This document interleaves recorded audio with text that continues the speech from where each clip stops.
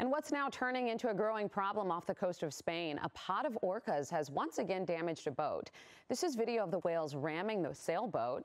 They destroy the rudder and pierce the hull, forcing the crew to put out a mayday call. They say the whales continued to follow the boat as it was towed to shore. Researchers aren't sure what is causing the puzzling behavior, but some think the orcas are just playing around. There have been no reports of attacks against swimmers.